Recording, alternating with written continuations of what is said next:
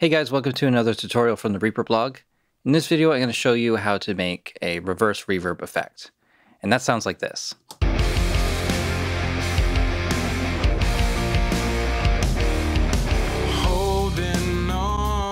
Let me solo that effect for you.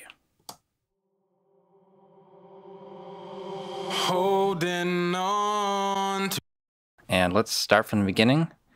So first I'm going to make a new track. Going to hit my shortcut to make a new track below the selected track. And let's call this reverse reverb. Now we need to grab a section of audio that we're going to reverse. Usually we're going to grab the first part of a vocal, but we might grab a long scream or something like that. So I'm going to highlight a section and then I'm going to press Command and drag down to copy that to the new track.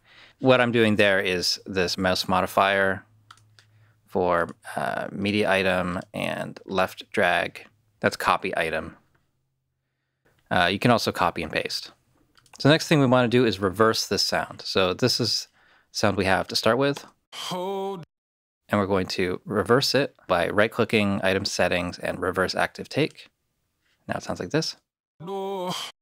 Now we need to apply the reverb to it. What I like to do is apply it from the track. So I'm going to use Valhalla plate and set this mix to about 70% or so and give a nice long decay time. Uh, there is some problems here with the the way that the vocal comes up. Using the take volume envelope, I'm just going to draw this out a little bit. So something like that. Because we don't want that sort of gasp. We want it to be smooth.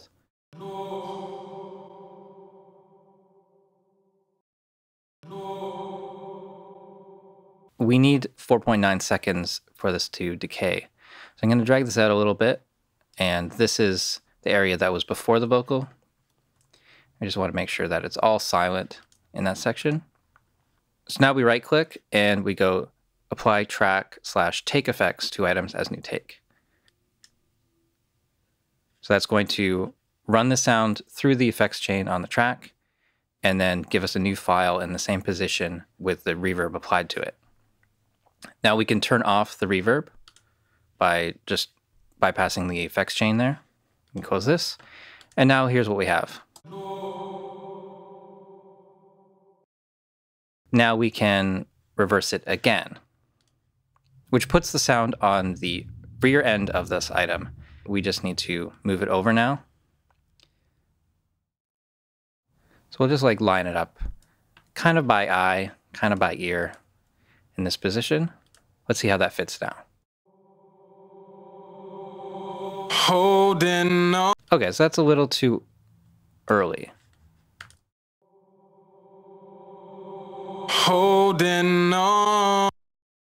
We don't really need to see multiple takes so I'm going to turn that off in the options. Now we're just seeing the take that we're using. And I'm going to bump this up. Running through the reverb really makes it quiet. And we're not getting any of the track effects from the original verse vocal. Uh, you could always render those effects first. I think just a volume boost is all we need here. And then we're going to grab the left corner and drag over to make a fade and right click in that cross faded area to choose a different curve. So I'm going to go with this more steep curve, steep fade in. Let's try that. Holding on. And with the mix. Okay, so maybe a little bit off. Let's bump it over by one eighth note and just this fade till it sounds right.